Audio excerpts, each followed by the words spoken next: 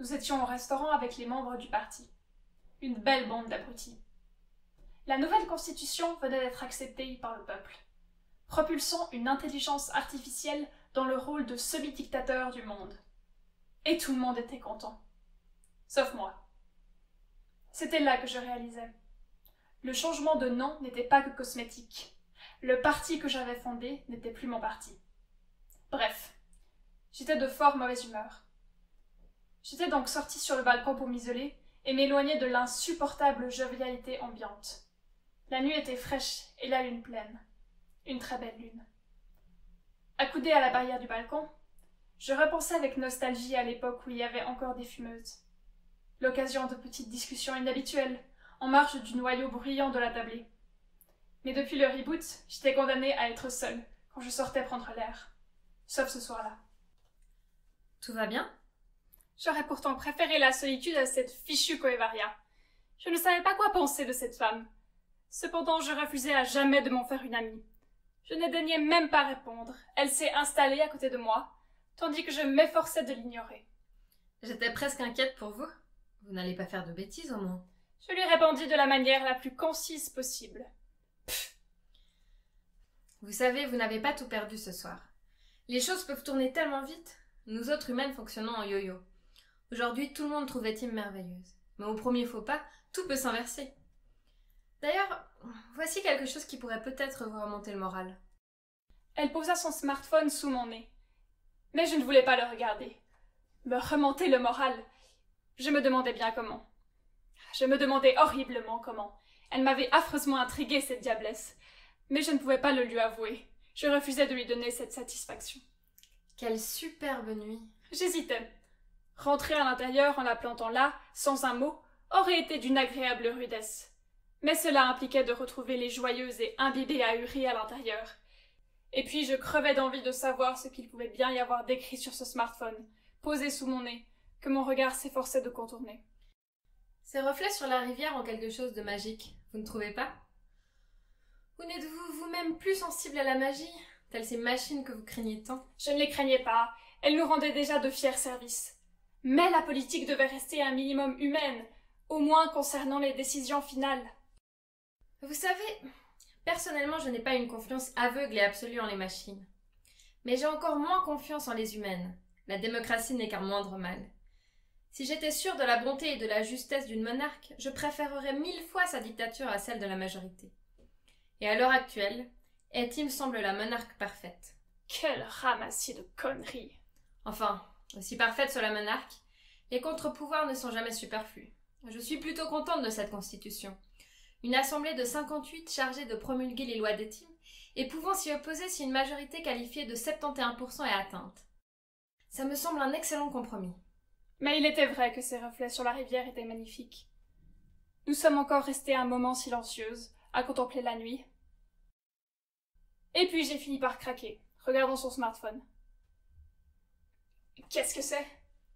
L'ordre du jour qu'Atim vient de publier pour la première session de l'Assemblée, dès que les 58 auront été élus, dans trois semaines. Mais regardez surtout le point numéro 4. Abolition progressive de l'argent? Oui, s'il y a un sujet sensible, capable de faire vaciller la foi en étime de nos concitoyennes, c'est bien celui-là. Je ne suis pas sûre que les étimistes remportent tant de sièges que cela pour finir. L'Assemblée des 58 ne sera peut-être pas qu'une cosmétique précaution. Je cherchais mes mots pour répondre. Mais c'est à ce moment que le vrai scoop de la soirée éclata. Madame, venez voir la télévision Vite Laurent, nom d'un chien, je vous le dis pour la troisième et dernière fois, je me contrefiche que votre belle-fille apparaisse dans une obscure émission de variété diffusée à 23 heures. Ce n'est pas cela, madame, c'est au sujet des teams. Que se passe-t-il Apparemment, elle aurait fait une erreur. Quoi? Nous nous précipitâmes toutes trois à l'intérieur. Toutes les membres du parti avaient les yeux rivés sur le petit écran. Nous possédions chacune de somptueuses télévisions de plus de deux mètres de diagonale chez nous. Mais de par les circonstances, nous nous retrouvions tout entassés derrière la minuscule télévision noir et blanc de ce restaurant rétro à la con. On entendait difficilement les journalistes. Donc en résumé, aucune preuve tangible. Non, cela fait des semaines et des semaines qu'on épluche le dossier Burcon. Mais rien du tout. De vieux bulletins de notes, des factures de bistrot anodines, des catalogues de mode. Aucun document ne ressemble à l'ombre d'une preuve. Les faits pointés par Etim sont tous farfelus. Donc Massieu Burcon serait innocente. Pour moi, oui. Mais parmi les expertes, certaines de mes collègues ne sont pas d'accord. C'est pourquoi nous voulions attendre avant d'officialiser la nouvelle. Mais au vu des circonstances, je préfère prendre les devants. Je pense que le peuple a le droit de savoir avant d'élire cette assemblée des 58 si décisive. Attendez, certaines de vos collègues pensent tout de même que Massieu Burcon serait corrompu. Oui, elles répètent que l'absence de preuves compréhensibles par les humaines ne signifie pas nécessairement qu'Etim se serait trompé. Elles prétendent qu'Etim est peut-être capable de faire des raisonnements, des déductions, de voir des choses qui sont hors de notre portée à nous, les humaines. Eh bien, merci beaucoup pour ces précisions. Je vous propose de nous retrouver après une page de publicité avec nos consultantes afin de débattre des conséquences possibles de cette incroyable nouvelle. A tout de suite. Nous nous regardions entre nous, un peu abasourdis. Nous ne savions pas trop quoi penser. C'est cet imbécile de Laurent qui a brisé le silence, par la question que tout le monde se posait. Dites, madame, pour le parti, c'est une bonne ou une mauvaise nouvelle? Qu'est-ce que j'en savais, moi, de si c'était une bonne ou une mauvaise nouvelle? Comment pouvais-je savoir comment le peuple allait réagir? Il est tellement bête. Il était tout à fait capable de basculer de la foi étimiste aveugle à l'inébranlable méfiance Aya.